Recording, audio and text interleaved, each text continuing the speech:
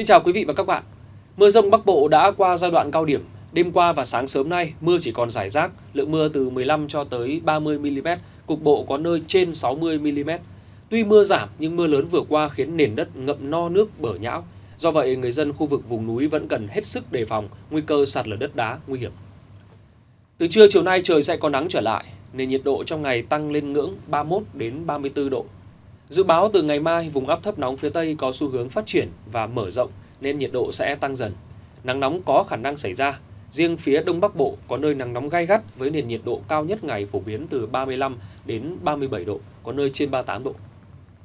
Với miền Trung, từ hôm nay vùng thấp nóng phát triển lại kết hợp với hiệu ứng gió phơn nên suốt dọc từ phía Nam Thanh Hóa trở vào tới Phú Yên sẽ xảy ra nắng nóng trên diện rộng với mức nhiệt cao từ 35 cho tới 37 độ.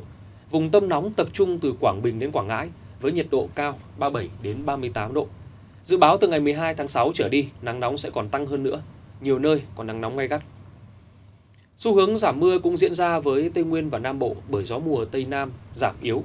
Chiều tối nay tại khu vực Tây Nguyên có mưa rải rác, còn Nam Bộ thì vẫn có mưa nhiều nơi. Mưa vừa, mưa to chỉ còn xảy ra cục bộ.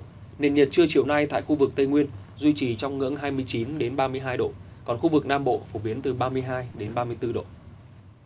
Chuyển sang thông tin thời tiết cho hai khu vực huyện đảo Hoàng Sa và Trường Sa.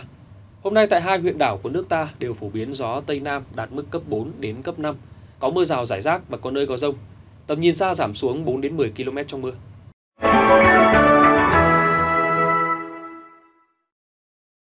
Mưa ở Bắc Bộ đã giảm dần. Sáng nay tại thủ đô Hà Nội, xác suất mưa vẫn còn cao là trên 70%, nhưng ít có khả năng mưa to.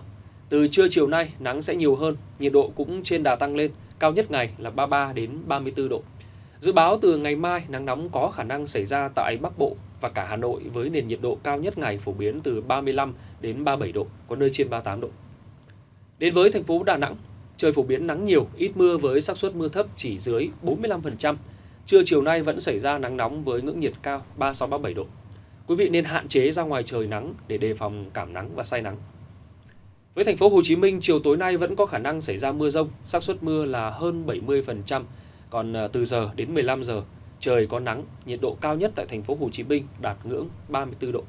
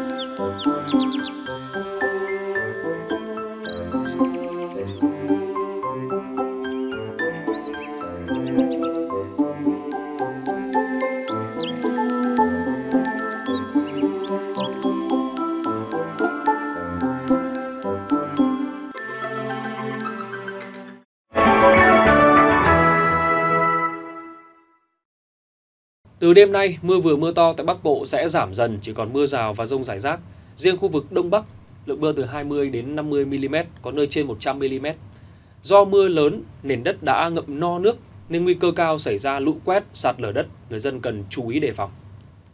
Từ ngày 11 tháng 6, vùng áp thấp nóng phía Tây có xu hướng phát triển và mở rộng về phía đông nên nhiệt độ sẽ tăng dần. Từ khoảng ngày 12 đến 14 tháng 6, nắng nóng xảy ra, Riêng phía Đông Bắc Bộ có nơi nắng nóng gay gắt với nền nhiệt độ cao nhất ngày phổ biến từ 35 đến 37 độ, có nơi trên 38 độ. Với khu vực Trung Bộ, thời tiết trong ngày mai 11 tháng 6, khu vực từ Nghệ An đến Phú Yên sẽ có nắng nóng, có nơi nắng nóng gay gắt với nhiệt độ cao nhất phổ biến từ 35 đến 37 độ, có nơi trên 37 độ. Độ ẩm tương đối thấp nhất phổ biến từ 55 đến 60%. Từ ngày 12 tháng 6, nắng nóng sẽ gia tăng hơn, có nơi đặc biệt gai gắt với nền nhiệt độ cao nhất ngày phổ biến từ 35 đến 38 độ, có nơi còn trên 39-40 độ. Còn tại khu vực Tây Nguyên và Nam Bộ trong 3 ngày tới có mưa rào và rông rải rác, cục bộ có mưa to vào chiều tối và đêm, ban ngày trời nắng. Nhiệt độ cao nhất tại khu vực Tây Nguyên phổ biến từ 28 đến 31 độ và từ 31 đến 34 độ với khu vực Nam Bộ. Trên biển khu vực phía Bắc của Biển Đông, vùng biển huyện đảo Hoàng Sa, trong 3 hôm tới, cường độ gió Tây Nam đều mức cấp 4 đến cấp 5, sóng biển cơ bản là thấp dưới 2 mét, biển lặng. Mưa rông thì cũng không còn nhiều nên tầm nhìn xa luôn trên 10 km. Thời tiết cơ bản là thuận lợi cho việc ra khơi bám biển, khai thác ngư trường của bà con ngư dân. Với khu vực giữa và Nam Biển Đông, vùng biển huyện đảo Trường Sa, từ ngày mai 11 tháng 6, gió Tây Nam giảm xuống cấp 4 đến cấp 5, độ cao sóng biển là tại hai khu vực này dưới 2 mét rưỡi. Mưa rào và rông cũng sẽ giảm xuống chỉ còn xảy ra mức giải rác về chiều và tối. Thời tiết cũng sẽ chuyển tốt trở lại.